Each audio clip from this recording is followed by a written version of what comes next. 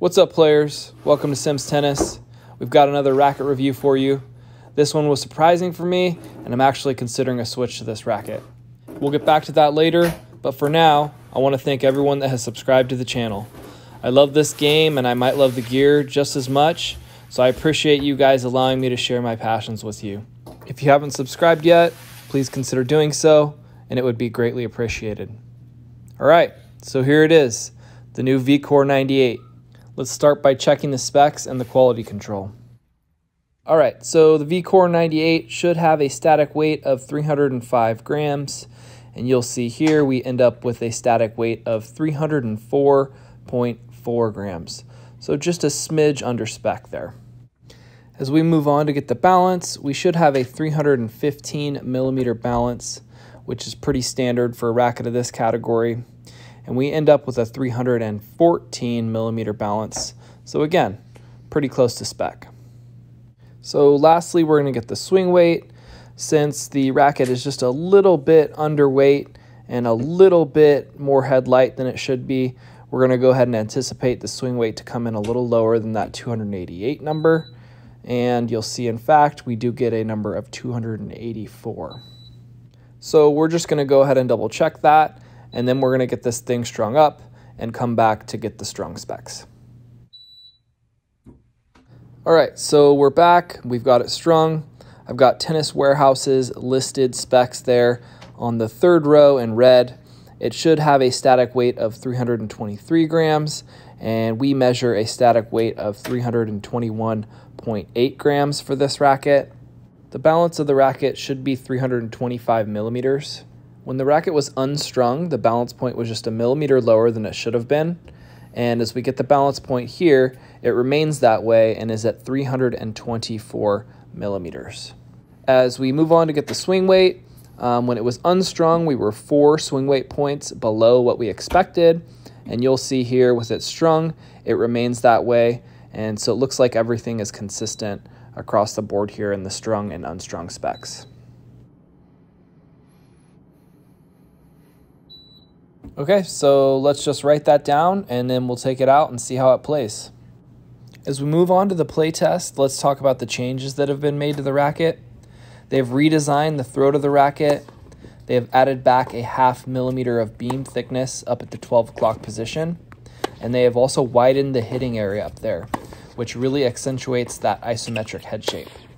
I have some history with that last version as I played with it for the majority of the year in 2022. I switched to the racket after moving on from the VCore 95. I was looking for just a little bit more forgiveness, and that racket afforded me that. I really liked that last version on returns and on my backhand side where my swings are shorter and flatter. The muted response felt pretty good on those shots as it felt as if the ball was dwelling on the strings just a bit longer and gave me more perceived control. On serves, that last version was very solid. Nothing stood out in a good or a bad way, but on my forehand, which is a much longer and faster stroke than my backhands or returns, that muted feel gave me a muddy response. I couldn't always tell where in the string bed I was connecting with the ball, so I never really felt connected on that side and eventually moved on to the Extreme Tour. This 2023 version was a much more well rounded experience for me. I don't quite get that same feeling on the backhand side as if the ball is really sinking into the strings and has that extra dwell time, but backhands were still really solid with this racket. It offers enough power to get good depth and enough control to inspire confidence. Hitting forehands with this racket were a significant improvement over the last version. I still don't feel the most connected when I really lengthen out my swing and go for that 90% and above shot, but the racket feels really good and responsive with any shot besides that one. It is still a bit on the muted side, but I think Yonex has done a good job refining it with this generation.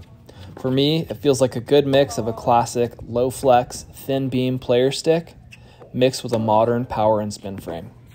You'll find the launch angle and the spin of these modern frames with a softer response. Moving on to volleys.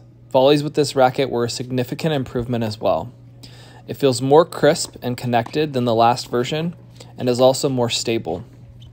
It also has a nice maneuverable feel, so overall, I really appreciated this racket at net.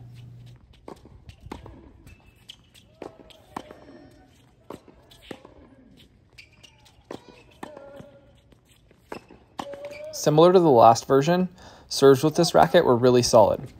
Flat serves had plenty of power on tap and enough control to encourage you to hit them. Slices were moving well, and second serves had plenty of kick.